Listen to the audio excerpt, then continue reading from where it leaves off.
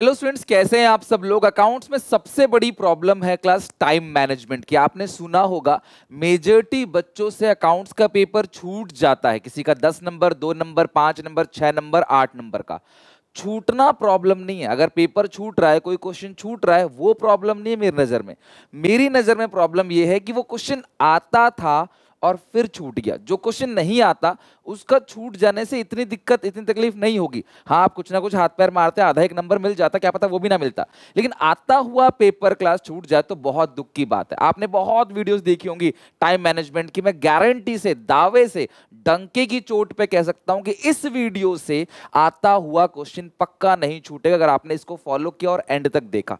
बहुत काम की बात बताऊँगा इसके अंदर, पाँच ऐसे टिप्स बताऊँगा, पाँच ऐसी गलतियाँ समझ लो, जो आप एग्जामिनेशन हॉल में जनरली करते हो अपने 11 साल के एक्सपीरियंसेस और प्लस जो मैंने खुद पेपर दिया है, उसके एक्सपीरियंस के हिसाब से कहाँ पे टाइम ज़्यादा लगता है, कहाँ क्या मिस्टेक करते हो और इसको कैसे बेहतर कर सकते हैं।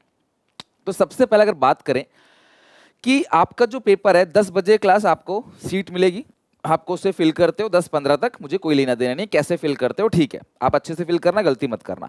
दस पंद्रह से लेकर दस तीस तक, आधा घंटा आपको क्वेश्चन पेपर मिलता है, जिसको क्लास आपने पढ़ना होता है, आप उसको सॉल्व नहीं कर सकते। कॉपी आप ओपन नहीं कर सकते कॉपी की सील आप ब्रेक नहीं कर सकते। आपको इसको पढ़ना है। मैं आज रात तक एक वीडियो लेके आऊँगा, जो बताऊँगा क्लास इसको कैसे एक एक करके यूटिलाइज करना है। बाकी थोड़ा समराइज इस वीडियो में भी करूँगा। फिर ये जो तीन घंटा आपको मिला है, इस तीन घंटे की बात अगर हम करें तो मैं एक आइडियल बात बता देता हूँ। एक आइडियल कंडीशन क्या होती है? जनरली बच्चा पेपर में बैठता है, दो घंटा पंद्रह मिनट से लेकर दो घंटा तीस मिनट तक वो पार्ट ए करता है। जनरली पार्ट ए का ये एक टाइम गैप रहता है टाइम फ्रेम रहता है।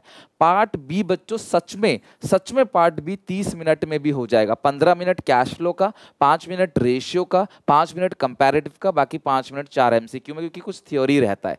दो चार मिनट ऊपर नीचे हो सकता है अराउंड थर्टी लेकिन इससे कम में तो नहीं हो पाएगा। तो कुछ ऐसा मोटा मोटी रहता है। आपको टीचर बोलेंगे, हर क्वेश्चन को इतनी देर में करना भैया, बत्तीस क्वेश्चन को बैठ के आप क्लास वहाँ पे नहीं कर सकते, घड़ी का स्टॉप वॉच लगा के टाइम कोई क्वेश्चन देखते ही हो जाएगा, कोई क्वेश्चन दो से तीन मिनट लग जाएगा, कोई कोई छः नंबर का क्वेश्चन क्लास आपको बीस मिनट भी ले लेगा। वो होता है, हर एक चैप्टर का क्वेश्चन सेम टाइम फ्रेम में नहीं होगा तो टाइम देखना तो बंद करो कि हर क्वेश्चन के लिए सवा दो मिनट मिलते हैं, दो मिनट मिलते हैं। टाइम से कोई मतलब नहीं है। एक एक डेडलाइन बना लो कि हाँ पार्ट ए इतने में खत्म करेंगे पार्ट बी इतने में खत्म करेंगे। वो एक मैक्सिमम बना सकते हो, इससे ज़्यादा कुछ नहीं, ठीक है? आगे देखते हैं।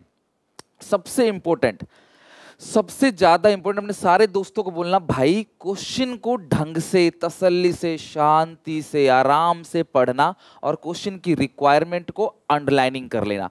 क्वेश्चन पेपर में मौका मिले तो क्लास एमसीक्यू शुरू में ही टिक, हल्का हल्का टिक लगा देना। अगर आप श्योर हो क्या इसका ये मार्क है, ताकि बाद में सिर्फ़ आपको लिखना पड़े। एक एमसीक्यू चुरा लिया अगर आपने शुरू के पंद्रह मिनट में तो आपके बाद में लगभग सवा दो मिनट कम से कम तुम्हारे बच जाएँगे एक्स्ट्रा और जो पाँच एमसीक्यू कर ली तो दस मिनट फालतू। तो रात में रोते हो ना, सर, दो मिनट दो मिनट दो मिनट, बस ये लिख रहे हैं, वो सब खत्म हो जाएगा, ठीक है? तो क्वेश्चन की रिक्वायरमेंट हर साल बच्चों को बोलता हूँ, पढ़ लो क्वेश्चन की रिक्वायरमेंट बोल रहा है ऑपरेटिंग निकालो, बना के आ रहे हैं इन्वेस्टिंग फाइनेंसिंग बोल रहा है, सिर्फ़ रिलाइजेशन की एंट्री पास रिलाइजेशन अकाउंट बनाओ, बना रहे हो क्लास कैपिटल अकाउंट के साथ साथ तो आप क्वेश्चन क्वेश्चन बोल रहे हैं एक्सट्रैक्ट ऑफ़ बैलेंस शीट बनाओ, आप एंट्री पास करके आ रहे हो. क्वेश्चन ढंग से पढ़ना रिक्वायरमेंट को अनलाइनिंग करना। हमेशा ध्यान रखना अकाउंटेंसी में स्पेशली स्टेप वाइज मार्किंग होती है। एक स्टेप भी लिखोगे, आधा नंबर ही मिलेगा ना क्लास तब भी लगभग क्लास आपके 10-15 नंबर फालतू बन जाएँगे। पूरे पेपर में। तो आप कोशिश करो कि ज़्यादा से ज़्यादा स्टेप्स को खत्म कर सकते हो। कहीं एक क्वेश्चन में अटक गए तो अटके मत रहो, ये कैसे नहीं निकाल रहा मैं इससे निकाल के रहूँगा? स्किप करो लास्ट में देखूँगा, बाद में देख लेंगे इसको, आगे चलो। ये छोटी छोटी बातें ध्यान रखना है। और जब आप क्वेश्चन पढ़ रहे हो ना एक क्वेश्चन तो आपका दिमाग दूसरे क्वेश्चन पर नहीं होना चाहिए। जब आप क्वेश्चन पढ़ रहे हो तो क्लास आप चिल होकर क्वेश्चन पढ़ो। कोई टफ पॉइंट आ गया, कोई टफ चीज़ आ गई तो घबरा के खुद का मोरल डाउन मत कर दो। बोलो, कोई बात नहीं, ये वाला टफ है, इसको देखेंगे कैसे कर रहा आगे देखते हैं। आगे देखते हैं। कहीं भी ऑल तीन घंटे के अंदर पैनिक मत आना क्विट मत करना क्लास परेशान मत होना। ठीक है? नाउ मूविंग टू क्लास अगर हम बात करते हैं टिप्स की तो मैं तुम्हें पूरा का पूरा टिप देता हूँ, लेकिन टाइम मैनेजमेंट का जो झोल है, हर जगह बना रखा है, देखना क्लास क्या गेम है इसके पीछे। देखो यार, सच बताओ ना टाइम मैनेजमेंट सबकी प्रॉब्लम नहीं हो सकती। आप सब वीडियो देख रहे हो कि एक बच्चे तक शेयर करना, चाहे वीक स्टूडेंट्स हो, चाहे टॉपर हो टाइम मैनेजमेंट सबकी प्रॉब्लम है टाइम मैनेजमेंट टॉपर्स की प्रॉब्लम है। आपको ऐसा किसी ने नहीं बोला, लेकिन सच बोलो टाइम मैनेजमेंट टॉपर्स की प्रॉब्लम है। टॉपर को 180 मिनट में 80 नंबर का पेपर आता है, उसे करना है। हर सवाल पे उसको सवा दो मिनट मिलेगा। लेकिन जो एक एवरेज बच्चा है, उसे 80 नंबर के पेपर में से 20 नंबर का तो छोड़ना ही है, क्योंकि वो उसको आता ही नहीं है। अगर आपको रियलाइजेशन की एंट्री नहीं आती, भाई, तुम क्या तुक्का मार लोगे उसमें? तुम्हें कैश फ्लो नहीं आता, तुम क्या तुक्का मार लोगे उसके अंदर? एमसीक्यू तुमको नहीं पता है। तो तुम क्या तुक्का मार लोगे? भैया, तुम्हें सिर्फ़ 60 नंबर का छेड़ना है, टाइम तुम्हें भी 180 मिनट मिलेगा, तुम्हें हर सवाल के लिए लगभग तीन मिनट मिल जाएगा। और अगर तुम थोड़े से और कमज़ोर हो, पचास नंबर तक का ही तुम्हें अस्सी में से आता है, और कैलकुलेट मत कर ले जाना मुझे कितने का आता है, कितना नहीं आता बकवास चीज़ें ये सब। तो आपको 3.6 मिनट मिलते हैं क्लास हर क्वेश्चन को करने के लिए। तो यानी कि अगर तुम्हारे दो तीन क्वेश्चन खराब है तो वो तुम्हें एक्स्ट्रा टाइम मिल रहा है कहीं ना कहीं उतने चीज़ को करने में 180 मिनट मिल रहे हैं। तो हवा बना रखा है कि टाइम नहीं छूट जाएगा, सबका नहीं छूटता यार।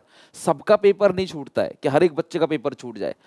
जिनकी कैलकुलेशंस खराब है, जिन्होंने प्रेजेंटेशन का तरीका नहीं पता आंसर कैसे प्रेजेंट करना है, वो रिवैल्यूशन अकाउंट बना रहे हैं तो फिर क्वेश्चन पढ़ रहे हैं। कैपिटल अकाउंट बना रहे हैं, फिर क्वेश्चन पढ़ रहे हैं।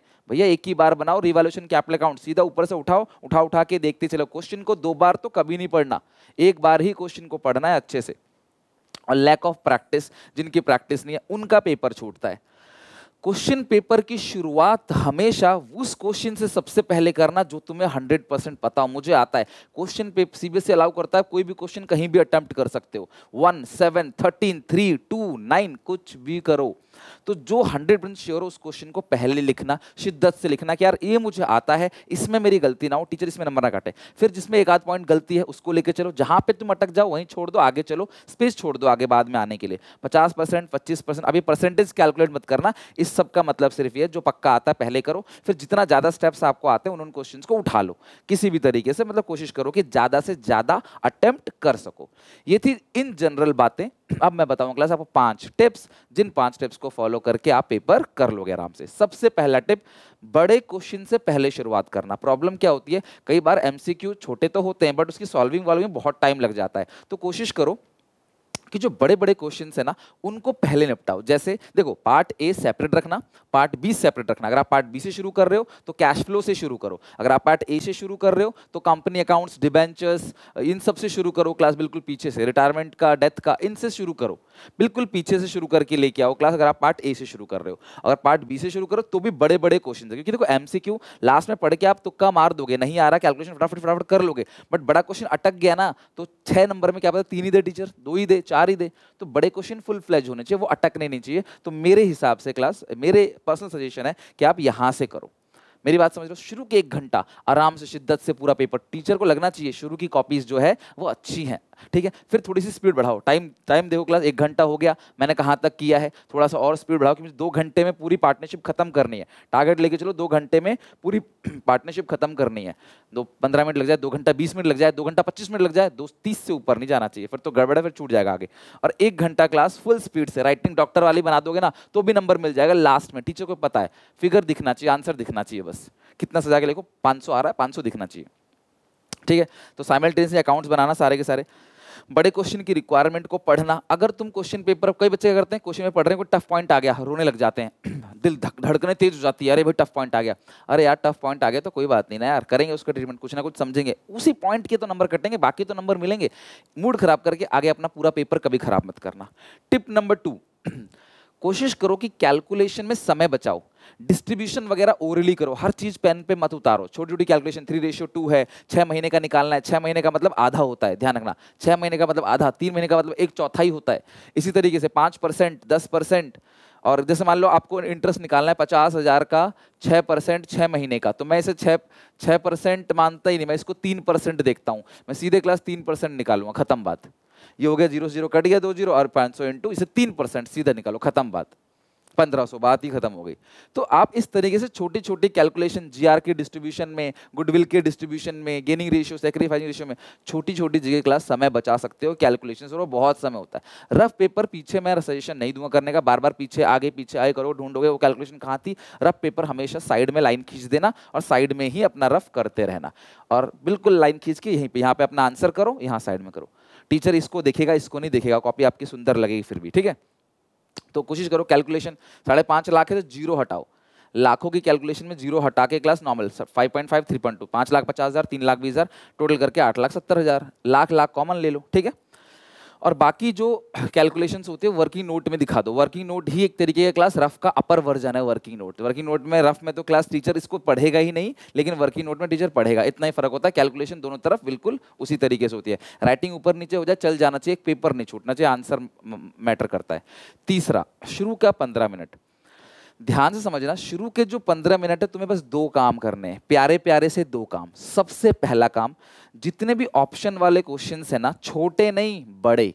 तीन नंबर चार नंबर छह नंबर उनको रीड करना, देखना कि दोनों ऑप्शन में से कौन सा आता है। सर, मुझे दोनों आता है। तो जिसमें तेरा कम समय लगे तो उसको कर। सर, मुझे दोनों ही नहीं आते। तो जिसमें तू ज़्यादा से ज़्यादा स्टेप्स से ही सही लिख सकता है, वो स्टेप सही लिख। सर, मुझे एक आता है, एक नहीं आता। फिर पूछना क्या, जो आता है, वो कर ले। समझ गए? तो उसको टिक कर लेना। क्वेश्चन में ना टिक कर लेना और क्वेश्चन को पढ़ते वक्त ना खुद का मरा हुआ नहीं होना चाहिए। लड़ने वाली दम होनी चाहिए। हाँ मैं करूँगा। ये नहीं कि यार मुझे नहीं आता नहीं आता मुझे। अरे यार, देखो, पक्का नहीं आता। सही कह रहा था, मुझे तो आया ही नहीं। तो ये मत सोचो, कुछ भी, जो हो गया छोड़ो। अभी प्रेजेंट में जियो, अच्छे से क्वेश्चन पढ़ो और मार्क कर लो। कहीं ना कहीं क्लास थोड़ा सा मार्क कर लो। टीचर मना करती है, लेकिन अपना जुगाड़ बना लेना कुछ ना कुछ। ठीक है कि हाँ भैया, मुझे ये वाला ऑप्शन करना है, मुझे ये नहीं करना। ताकि बाद में तुम्हें टेंशन ना हो। ठीक है? वन मार्कर, दूसरा काम पहला रीड करोगे। दूसरा जो वन मार्कर की थ्योरी वाले क्वेश्चन होते हैं, अगर तुम्हें वो आते हैं पेन से मार्क नहीं कर सकते, ना खून से हल्का सा टिक लगा देना। वैसे गलत बात सिखा रहा हूँ, माफ़ करना, लेकिन यार पेपर में कुछ ना कुछ करके नंबर लाने ही पड़ेंगे, ठीक है? तो आपको शुरू में क्लास पता है वन मार्कर वाले क्वेश्चन आपको आते हैं, आप किसी भी तरीके से निशान लगा देना, कोई मार्क कर देना कि हाँ भैया यार, ये चीज़ हमको लास्ट में लिखनी है, फिर तुम्हें कॉपी बस उसका आंसर उतारना है कि हाँ यार, इसका तो मुझे पता है, इस पर मत्था नहीं करनी। दो काम करना है एक एक नंबर क्वेश्चन और reading carefully tip number four कुछ बच्चे सजाने लग जाते हैं, लाइन खींचने में ही इतना समय ले जाते हैं, फटाफट लाइन टेढ़ी मेढ़ी हो गई, कोई दिक्कत नहीं है। लाइन अगर चालीस चालीस हज़ार, तीस हज़ार ऐसे लिखा है तो भी ठीक है थोड़ा सा ऐसे हो गया ना तो भी तुम्हारे टीचर नंबर नहीं काटेगा बिल्कुल। तो इसे काटा कूटी मत करो कि लाइन गलत हो गई। चलेगा, लाइन नॉर्मली खींचो, थोड़ा एंगल बदल जाए तो कोई फ़र्क नहीं पड़ता। ड्रेसिंग मत करो, सजाओ मत लाइन वाइन में, बहुत टाइम लगता है। तो प्लीज़ लाइनिंग वगैरह में टाइम मत लो। आंसर इंपॉर्टेंट है क्लास ठीक है? और ऑर्डरली कोशिश करो आंसर लिखने की। लाइक like, आप पीछे से जा रहे हो मान लो जा रहे हो आप क्लास या ट्वेंटी वन ट्वेंटी ठीक है? फिर आएगा 19 19 का आंसर नहीं आता, उसके लिए पेज छोड़ दो। हर बड़ा क्वेश्चन नए पेज पे होना चाहिए। हर बड़ा क्वेश्चन जो है एक एक नंबर वाले तो एक साथ कर लो, सारे एक पेज में आठ, दस जो भी है। बड़े क्वेश्चन जो है वो ऊपर लाइन बाय लाइन होना चाहिए फ्रेश पेज पे होना चाहिए, ठीक है? ये आप ध्यान रखना। ऑर्डरली करोगे तो आपको पता रहेगा, यार कौन सा क्वेश्चन छूटा है, सीधा वहाँ पहुंचोगे, नहीं तो पता बच्चे करते हैं। पन्ना पलटा रहे पार्ट पार्ट देखना कितने पन्ना पलटाने की आवाज़ आएगी पेपर में। ये पन्ना पलटा रहे वो पन्ना पलटा रहे हैं, आपको पता है लाइन से किया है, सीधा वहाँ पहुंचोगे। वहाँ भी समय बचता है फ्रस्ट्रेशन खत्म होता है। नहीं तो पन्ना पलटाते रहोगे ना, दिमाग की दही हो जाएगी, फिर आप बोलोगे आप मुझे नहीं करना, भाड़ में जाए। छोड़ दे जो होगा देखा जाएगा। ऐसा सोचने, आ जाता है सोचने में ऐसा। पूरे पेपर में कहीं भी कॉन्फिडेंस लूज मत करना। कोशिश करना एंड तक टिके रहना, बच्चा, पास हो जाएगा आराम से। और नब्बे सौ भी ले आएगा। अस्सी में से अस्सी आ जाएँगे। दूसरा लास्ट बार बार घड़ी मत देखना, जो मैंने बताया, दो से ढाई घंटा और आधा घंटा। टीचर एक एक घंटे में बेल बजती है तो समझ जाना, एक घंटे में बेल बजेगी, एक घंटा हो गया। अपने पास एक पानी की बोतल रखना, पानी गड़ागड़ गड़ागड़ मत पी जाना, सिप लेते रहना, ताकि क्लास एंजाइटी स्ट्रेस ना आए। रिलैक्स होके पूरा पेपर देना, जाने से पहले वॉशरूम चले जाना, बीच में उठ के भागना, दूना बंद करना, यहाँ वहाँ ताकाझाही करके दूसरों से आंसर्स की उम्मीद मत लगाना, अपना नीचे बैठे रहना। यकीन मानो, जब मैं पेपर देता, मेरे बगल में कौन बैठा है? मैं फेंक नहीं रहा, सही बोल रहा हूँ, मेरे बगल में कौन बैठा मुझे ये तक पता नहीं होता, तीन घंटे बस लिखते गए, यहाँ पे निशान पड़ जाता था उंगलियों पे कि हाँ भाई लिखा है। अपने सी के एग्जामिनेशन की बात कर रहा हूँ ट्वेल्थ की नहीं, तब तो मैं भी आप जैसा ही था, ठीक है?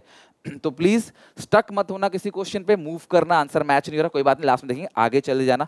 अपने क्वेश्चंस का पता होना चाहिए कि हाँ भाई पता है कि यार मुझे पता है ये वाला क्वेश्चन का आंसर पता है, तसल्ली से करना क्लास बिल्कुल तसल्ली से, कोई जल्दी, जल्दीबाजी नहीं, ठीक है? उस पर पूरा पूरे नंबर लेके आने सेक्शन ए एक जगह सेक्शन बी एक जगह okay and at last class सबसे पहले आप क्या करोगे? जो आपने टिक मार दिया था शुरू में एमसीक्यू जो तुमको क्लास आसान आसान लगे, इसका आंसर तुमको पता था like interest on calls in arrear कितना परसेंट लगता है? पता है तुमको तुमने हल्का सा निशान लगा दिया, बाद में बस मैं उठा के आंसर में ये लिख दूँगा क्वेश्चन पढ़ने की ज़रूरत ही नहीं है। फिर क्लास आपने और वाला सिलेक्ट कर दिया तो वो करना पहले बड़े बड़े क्वेश्चन और कंपेरेटिव वाला क्वेश्चन सबसे आखिरी करना। और जो टफ कैलकुलेशन वाले क्वेश्चन है, वो सेकंड लास्ट और सबसे लास्ट में जो तुम्हारा होगा स्पेस छोड़ देना कंपेरेटिव के लिए, एक पेज और कंपेरेटिव वाला क्वेश्चन कंपेरेटिव कॉमन साइज़ का जो क्वेश्चन है वो सबसे आखिरी में तुम करना, क्योंकि वहाँ पे परसेंटेज की कैलकुलेशन होती है और नंबर छूटता है। एनजाइटी स्ट्रेस कुछ मत लो, हमारा पेपर है, या तो थोड़े नंबर ज़्यादा आएँगे अस्सी में से अस्सी आएँगे सेवेंटी एट आएँगे सेवेंटी आएँगे सिक्सटी फाइव आएँगे, हम मर नहीं जाएँगे। और ये नहीं कि सेवेंटी एट वाले का क्लास पैकेज हमसे ज़्यादा ही लगेगा। अपना बेस्ट दो एक्सेप्ट करो, जो भी रिज़ल्ट है।